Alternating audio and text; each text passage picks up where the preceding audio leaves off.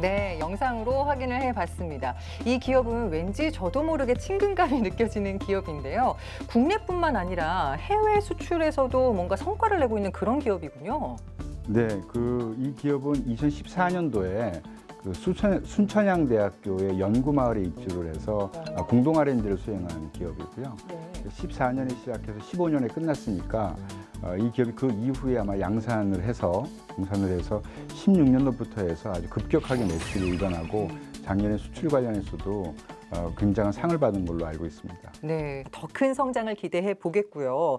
그런데 이렇게 산학연 협력 기술 개발 사업에 대해서 참여하고 싶은 기업들이 있을 거란 말입니다. 지원 요건이 뭐 따로 있는 건가요? 일단 지원 요건은 중소기업이면 되고요. 예. 근데 이제 이 사업이 이제 새롭게 19년도에 어, 진행을 하면서는 어, 일단 기준이라고 하면은 그 기업이 R&D를 하기 위해서는 어, 어느 정도 연구 인력이 있어야 되고 그렇죠. 어, 그리고 인프라가 구성, 구, 어, 구성이 되어 있어야 하기 때문에 어, 기업 부설 연구소가 있느냐를 놓고 조금 보는 부분이 있습니다. 그래서 기업 부설 연구소를 보유하고 있느냐, 아니면 보유할 계획이 있느냐라는 게 하나의 기준이 될 수도 있고요. 콜라보 사업 같은 경우에는 기업 부설 연구소를 보유하고 있거나 아니면 과제가 선정된 이후에 과제 기간 동안이라도 아, 기업 부설 연구소를 보유를 해야 되는 조건이 하나 있고요. 네. 어, 그다음에 이제 선도 연구기관을 활용한 어, 공동 연구개발 사업인 경우에는 기업 부설 연구소는 필수로 되어져 있고요. 네. 그리고 이제 마지막 하나인 그 신사 바우처 사업 같은 경우에는 이제 기존 기업들이 사업을 전환한다라든지 아, 자금 기존에 있는 상품 말고 좀 확장해서 다른 분야로 나가고자 할 때 지원하는 과제다 보니까 어느 정도 좀 규모가 있는 업력이 한 10년 이상 되, 되거나 아니면 매출이 50억 이상 되거나 아니면 뭐 종업원수가 30억 이상 되거나 이 세 가지 조건 중에 하나를 만족해야만 아, 지원을 받을 수 있는 조건이 있습니다. 네, 아무래도 우리 국민의 세금으로 이루어지는 지원 과제이다 보니까 조금 더 세심하게 꼼꼼하게 따져볼 필요가 있는 네, 거네요. 물론입니다. 네. 알겠습니다. 경쟁률이 굉장히 치열하다면서요. 어, 전반적으로 제가 알기로는 그 R&D 과제 경쟁률 사업마다 상이하기는 한데 네. 한 평균 한 3대 1 정도 되는 걸로 알고 있습니다. 네. 근데 이제 저희 그 콜라보 사업 같은 경우에는 신규 사업은 아, 예산이 사실은 좀 줄었어요. 작년 대비해서.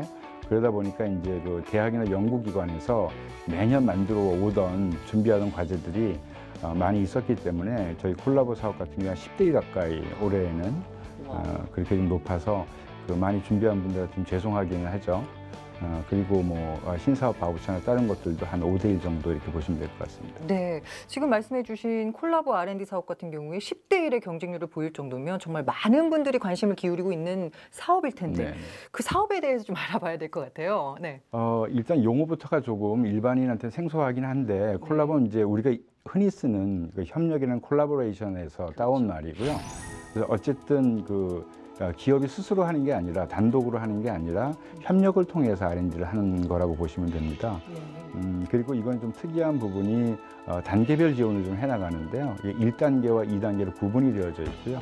어, 1단계에는 저희가 8개월까지 시간을 주고 어, 정부 지원금 5천만 원 해서 일단은 그 네트워크도 만들고 이게 사업화 아이템이 가능한 건지 또는 또 산학 협력이 필요한 과제인지 우리 갖다 검증하는 단계를 일차적으로 거치고요. 그리고 나서 이제 본 궤도에서 아, 산학 협력이 꼭 필요한 과제다 라는 판단이 쓰면은 어, 2년의 사업까지 본 연구 개발로 들어가는 2단계로 구분되어져 있는 사업입니다. 네, 신규 사업인 만큼 많은 중소기업들이 도움을 많이 받아서 성장을 차곡차곡 잘 해 나갔으면 하는 바람입니다. 자, 그래요. 우수 중소기업 사례를 영상으로 확인시켜 드리고 있는데 이제 마지막 기업만이 남았습니다. 자, 어떤 기업일지 궁금하시죠? 화면으로 함께 하십시오. 세상에 없던 아이디어와 기술로 틈새 시장을 개척하는 스타트업들이 잇따라 나오는 요즘 스마트 그리드 통신 솔루션 전문 기업을 모토로 급성장하며 업계의 비상한 주목을 받고 있는 회사가 있습니다. 경기도 성남시 분당구 이곳은 고객의 에너지를 경제적으로 운영할 수 있도록 돕는 에너지 관리 및 솔루션 전문 기업입니다.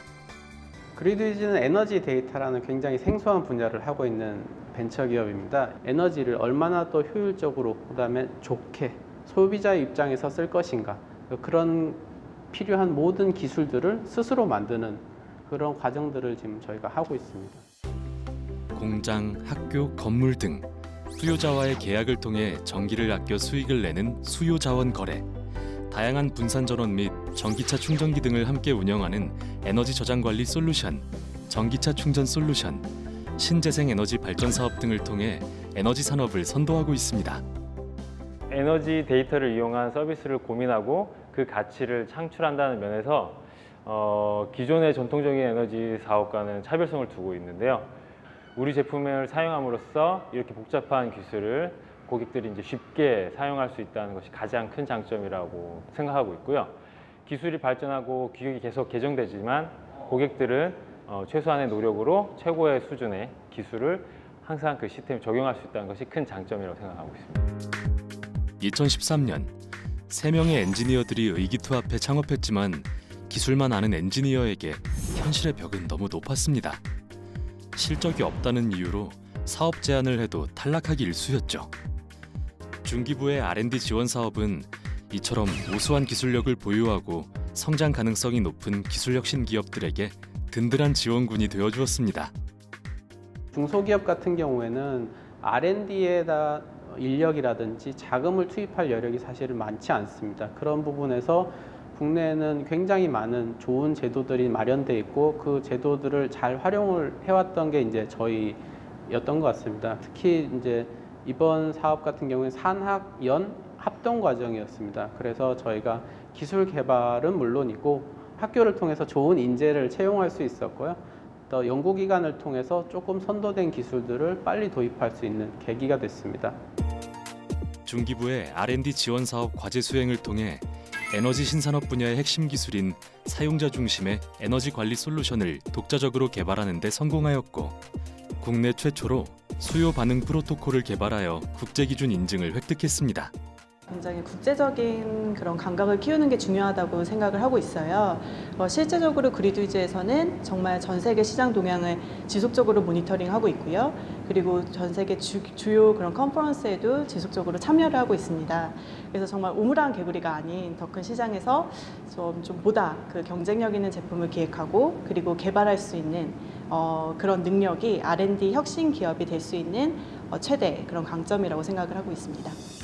2013년 초 단 3명의 직원, 자본금 5억 원으로 시작한 이 회사는 불과 6년 만에 직원 90명, 연매출 500억 원을 바라보는 탄탄한 기업으로 성장했습니다.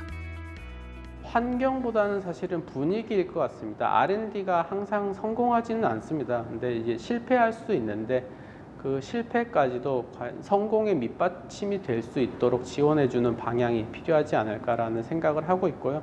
어, 저희 스타트업들이 사실은 좀 굉장히 빨리 신속하게 움직여야 된다는 점이 있습니다. 그래서 정부에서 저희 이제 정책적으로나 R&D를 이제 지원해 주실 때 이런 좀 빠른 신속함에 이제 맞게 좀 절차적으로 좀 많이 간소화를 해주시면은 정말 좋을 것 같습니다. 에너지 사용자의 입장에서 가장 효율적이고 가장 경제적이며 안전하고 지속 가능한 에너지 서비스를 제공하는 기업. 에너지의 새로운 세상을 꿈꾸는 이들의 더 힘찬 내일을 응원합니다. 그리드위즈는 에너지 데이터라는 이 무형의 자원을 기- 무형의 기술을 기반으로 우리가 편하게 쓰고 있는 에너지들을 지금보다 또 더 깨끗한 에너지로 바꾸고 또 편하게 합리적으로 쓸 수 있도록 할 겁니다. 그래서 에너지를 저희가 그냥 낭비하는 게 아니고 아끼고 잘 쓰는 방법을 후손에게 물려줄 수 있는 그런 에너지 기업이 되기 위해서 노력할 겁니다.